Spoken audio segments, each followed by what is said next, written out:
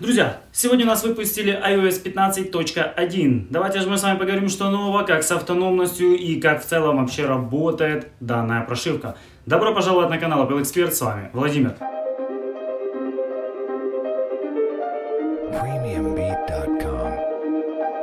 Видите, друзья, все прошивки, начиная от релиза новой версии iOS, в принципе, идут минорными обновлениями пошагово. То есть, по факту, то, что представили на iOS 15, это будет просто дофикситься, приводиться в порядок. Ничего нового такого не зайдет, что можно ожидать там в следующей версии iOS, к примеру.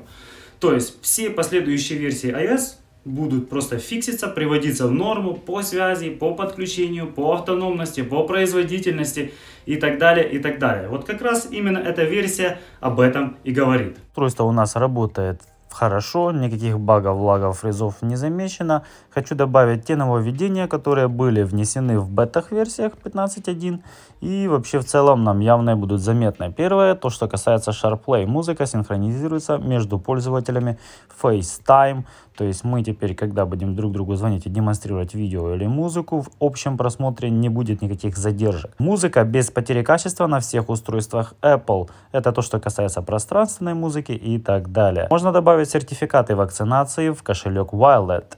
Умный дом со всеми гаджетами. Настройка AirPods убрали раздел пространственное аудио. Э, макрорежим для iPhone 13 э, автовоспроизведения. Автоматическое разблокирование часов через iPhone. То есть один раз разблокировали, второй раз уже не нужно будет делать. Поддержка кодека Apple ProRes в камере. Что касаемо Apple ProRes, между тем, что у нас HEVC или H.264, э, небольшая разница там есть, не такая мыльная картинка. И в целом на процентов 10 она лучше монтируется в сторонних каких-то графических редакторов. Вот так вот, друзья, в принципе, э, что хочу сказать. Если вы хотите обновиться, обновитесь те, кто уже на iOS 15. Те, кто сидит на iOS 14 или 13, все так же оставайтесь. Поверьте мне, оно того не стоит. Вообще. Автономность намного хуже, производительность вроде бы по цифрам лучше, но по факту это вообще незаметно, а то если и заметно, но в худшую сторону.